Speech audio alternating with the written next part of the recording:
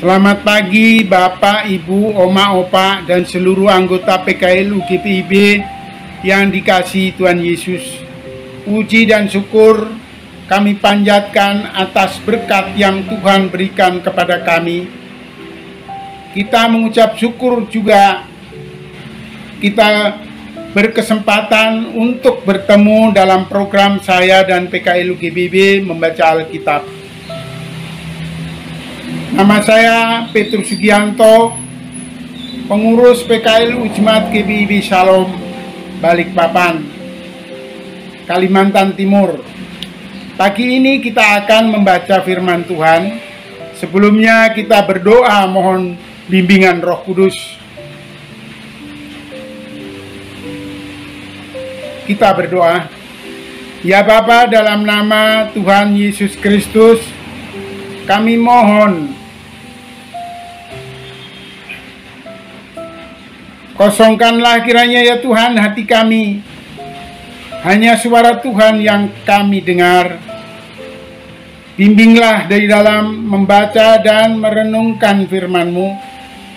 Supaya kami dapat mengerti kehendak Tuhan di dalam firman yang kami baca. Dan selanjutnya kita bisa menerapkan dalam kehidupan beriman kami. Di dalam nama Tuhan Yesus kami sudah berdoa. Amin. Pembacaan pagi ini Senin 21 Juni 2021 terdapat di dalam Nehemia 3 ayat 16 sampai 22 Demikian firman Tuhan. Di sampingnya Nehemia bin Zabuk, penguasa setengah wilayah Betsur, mengadakan perbaikan sampai di depan pekuburan Daud dan sampai pada kolam perbuat buatan dan rumah para pahlawan. Di sampingnya orang-orang Lewi mengadakan perbaikan, yakni Rehum bin Bani dan berdekatan dengan dia Hasabia pengusaha setengah wilayah Keila yang satu untuk wilayahnya di sampingnya saudara-saudara mereka yakni bin Binui bin Edat pengusaha setengah wilayah Keila yang lain mengadakan perbaikan. Berdekatan dengan dia Aisyar bin Yuswa, pengusaha Mispa, member, memperbaiki bagian yang berikut. Di depan pendakian ke gudang senjata dekat sudut di sampingnya Baruk bin Jabal memperbaiki bagian yang berikut dari sudut sampai pada pintu masuk rumah imam besar Eliasib. Di sampingnya Meremot bin Uria bin Hakos memperbaiki bagian yang berikut dari pintu masuk rumah Elisab Elisai Eliasib sampai pada ujung rumah Eliasib. Di sampingnya para imam, orang-orang dari lembah Yordan mengadakan perbaikan.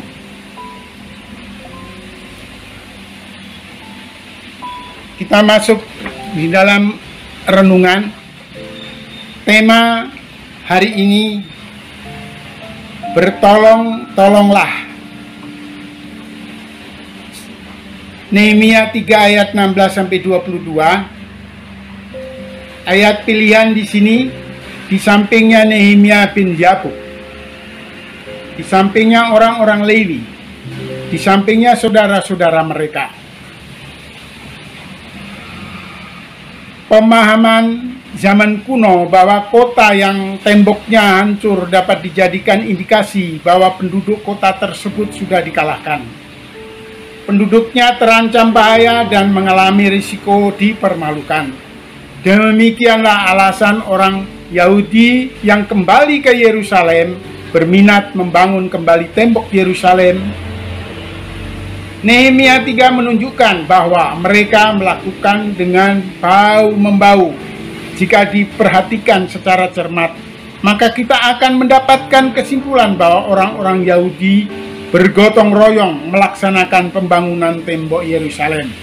Para imam sebagai tokoh agama bau-membau dengan para pengusaha sebagai tokoh masyarakat, juru campur rempah dan pandai emas turut sama-sama bekerja, berkarya, orang-orang dan kota sekitar juga datang membantu yang lain memperbaiki rumah di depan rumah mereka.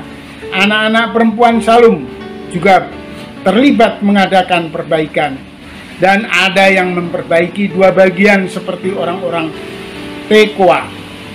Mereka semua bekerja sama untuk mencapai tujuan yang sama. Mereka semua ambil bagian dalam pekerjaan itu bukan karena besar kecilnya. Pekerjaan mereka masing-masing hal itu didasari pada tujuan utama yang menjadi sumber motivasi yakni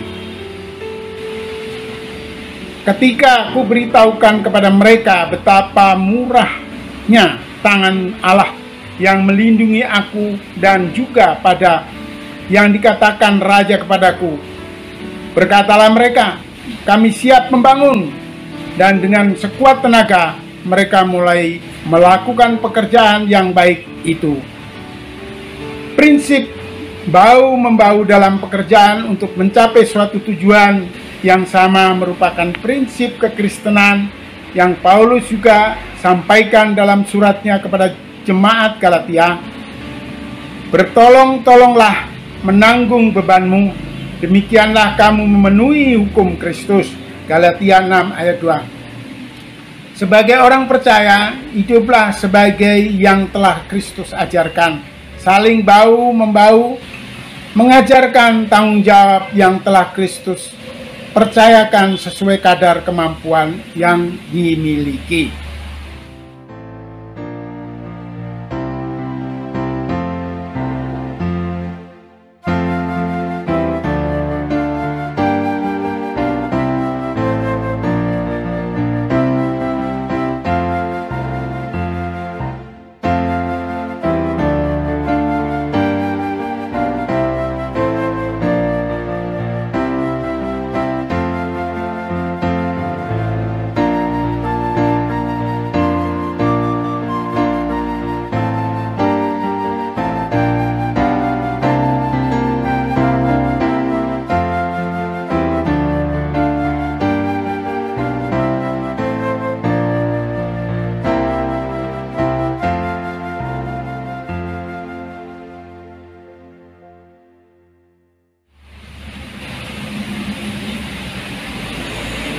Mari kita berdoa. Ya Tuhan, berikanlah kepada kami semangat untuk hidup dalam persekutuan yang saling bertolong-tolongan sehingga nama Tuhan dimuliakan melalui hidup kami.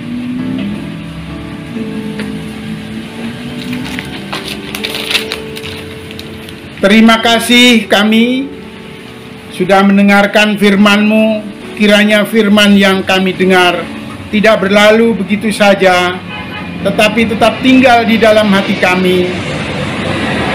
Selanjutnya dapat kami terapkan dalam kehidupan beriman kami. Dalam doa sapata ini, kami berdoa kepada negara dan bangsa kami Berkatilah Bapak Presiden dan Wakil Presiden, juga para menteri dan jajarannya. Dan berkati pula pimpinan yang ada di daerah sampai ke tingkat RT.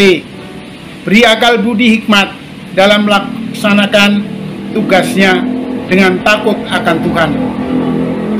Demikian pula kami berdoa untuk para pemimpin, para pengurus Dewan PKLU dalam programnya kiranya dapat menjalankan tugasnya dengan sukarela namun tetap bertanggung jawab. Dalam menghadapi pandemi COVID-19, kita semua harus mengikuti anjuran dari pemerintah. Berkati kiranya PKLU GPIB dalam pelayanannya. Ampunkan dosa kami ya yang kami perbuat melawan kehendakmu. Di dalam nama Tuhan kami Yesus Kristus, kami sudah berdoa dan mengucap syukur.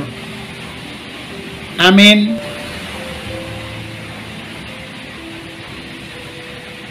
Terima kasih. Selamat beraktivitas. Tuhan Yesus memberkati. PKU Tetap semangat, pelayanan. Segar dan hijau.